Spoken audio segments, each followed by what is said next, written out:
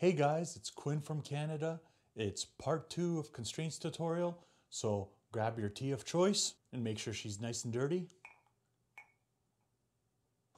And come join me by the computer. Alright guys, let's start at this brand new here. Because you know what? I know nobody saved the last one. So create a line and this time just make it downwards about 20 30 degree angle. We'll adjust it later. Now let's use one of my favorite constraints right here. It's a great cheat the lock constraint. When you click on an edge here it will automatically make a horizontal and a vertical constraint to your origin point. and you know what? Let's adjust this just a tad. Of course you can just double click on here. We'll make this 20 we'll make this one 30 Let's use a length constraint again, right here. And we'll make that a 40. And now, just to lock in our degree of freedom, again, let's use our angle constraint. So fix the angle from here, and we'll fix it to there. We'll make it 20 degrees. Beautiful. So let's keep this going. Let's draw another line anywhere on the screen. So now that you have this line drawn, what if I wanted to join this guy to this guy? This is the constraint we would use. This is the coincidental constraint. It's used to put two lines together. So take that to that. And we're down to two degrees of freedom because this point is now locked on a horizontal and a vertical. So all that's left for us to do is rotate and length.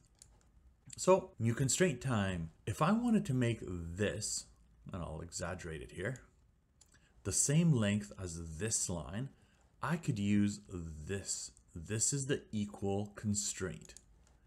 Click on this line, click on this line, and now these are both equal. See how this has an equal constraint and a 6 beside it? That's telling me that that's the sixth constraint on the list. So constraint number six is that guy. All right, guys, we got one degree of freedom that we have to restrict, and then we're fully constrained, the full enchilada, baby. So let's do that by using this guy right here, the perpendicular constraint. Click the two lines you want to do, and check this out. That is a perfect 90 degree angle. Since in engineering, a lot of times we want to design 90 degree angles. Awesome, awesome little tool. All right, let's rock off another one. Let's draw a line. And let's say that we want this line attached to this line, but not at the endpoints, just somewhere on the line. Well, this is the constraint that we would use for that, to fix point. So for that, you're going to need to click an end point, like this guy, and you're going to need a line. So we could use this line. We can also use our reference horizontal and our reference vertical line. So in this case, you know what? Let's just go to our horizontal line, and there you go. So it's always stuck onto it now. So let's hit escape though, and let's move this line around so I can show you an interesting quirk. Check this out. Bet you weren't expecting that. This point is fixed to this line, but in an infinite matter. So we can keep going up and we can keep going down. And as you can see, it will always follow that line, but it might not necessarily be on this line. This is something that has gotten me in the past. So if you're using this constraint, you might need a second constraint to lock down a location. So in this case, we can use a distance constraint like this guy here. Let's click on the line. So there's my point there. And there's my other point highlighted. And now I have a location. So I'm just going to make this 30 just to make it simple. And now you'll notice that if I try to move this line, it's now locked down to that location. If you're locked onto the horizontal or the vertical line, you can use the horizontal or vertical constraint, such as this guy right here. So click, click, and yeah, let's even it up to 120.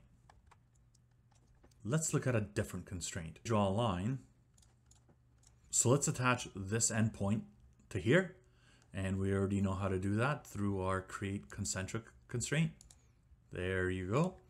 And once again, let's use our point constraint just to attach this to here, our horizontal line. Well, now let's say I want to make this line parallel to this line right here.